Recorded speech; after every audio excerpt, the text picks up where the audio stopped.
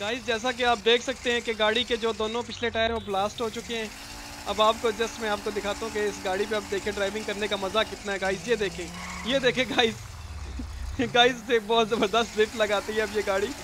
इसके पिछले टायरों का तो हमने कबाड़ा कर दिया है। ये देखें गाइस ये देखें ये देखें किस तरह किस तरह स्विफ्ट करके घूम के आती है।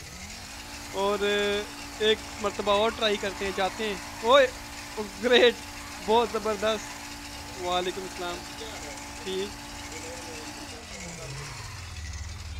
निकालने?